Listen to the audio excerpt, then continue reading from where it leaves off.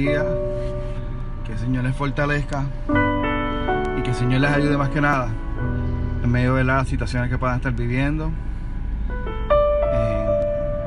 donde quiera que el Señor te tenga en el proceso,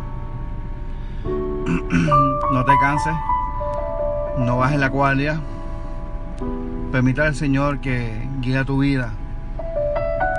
Aún hay tiempo. Si estás viendo este mensaje, si estás viendo, escuchando este mensaje, que tienes una oportunidad de parte del Señor para que cambies tu vida, para que cambies tu rumbo. Las cosas viejas pasaron, o sea, lo que pasó hace cinco minutos, pasó hace cinco, cinco minutos. Puedes cambiarlo. Tu vida no depende de un Snapchat, de una parte de la película de tu vida. Tu vida depende del propósito de Dios. Tu vida depende del plan que tiene Dios para con tu vida para lo que el Señor ya diseñó y estableció sobre ti. Y que yo sé que tú estás caminando sobre esa promesa, siendo firme, creyendo y teniendo fe en ese plan que Dios ya tiene para ti y para con tu vida. A pesar de que la visión tardare, ella no mentirá. Ciertamente se cumplirá en su tiempo. Sigue caminando. Sigue confiando en lo que Dios ya estableció para con tu vida. Tú conoces tu llamado, tú conoces la misión que tienes que hacer. Ya tú sabes la, visión que Dios ha puesto sobre tu corazón y sobre tu alma para que se lleve a cabo. Si algo no está funcionando, si algo no está moviéndose a favor tuyo, a un alto hora, entra al taller del, del, alfarero. Pregúntale, Señor, hacia dónde tengo que caminar, hacia dónde me tengo que mover. Estoy moviéndome en el camino que tú quieres que yo camine, o estoy caminando sobre mi tiempo. la Confía en lo que Dios tiene para con tu vida. Confía en lo que el Señor ya, ese plan que ya el Señor estableció. Si te Dios, Dios, te dijo que ibas a ser un evangelista, si Dios te dijo que ibas a ser un pastor, si Dios te dijo que tú ibas a ser un ministro de adoración, que es diferente a un adorador. Un ministro de adoración es una persona que canta y que es un líder. Y un adorador somos todos. Y la gente tiende a confundir ah, que va a ser un adorador con cantante y no tiene la voz para ser cantante. Adoradores somos todos, la adoración nace en el corazón. Ahí es donde nacen todas las cosas. Lo bueno, lo malo, lo justo, lo impropio, lo que no es justo. Todas esas cosas nacen en nuestro corazón. Por eso que Dios nos dice que guardemos nuestro corazón porque de él mana toda, ¿verdad? Mana la vida. Aférrate a Dios. Aférrate a su palabra para que Dios pueda transformar y formar un carácter en ti. Cualquiera dice yo soy cristiano. Cualquiera dice yo voy a la iglesia pero vives realmente lo que, lo que estás aprendiendo en la iglesia. Lo empleas en tu casa, lo empleas en tu trabajo, lo empleas hasta guiando. Esto es un estilo de vida. El reino no está en los cielos, el reino del, Señor está en ti.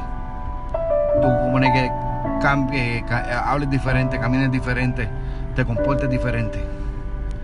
Yo antes no abrazaba a mis padres, ni les decía que los amaba siendo cristiano pero ya yo sé y entendí que hay que amar a nuestros padres. Y lo que antes me costaba ahora me sale. Y abrazo a mis papás y les amo. Yo no sé, ¿verdad? Cuál sea hoy tu caso.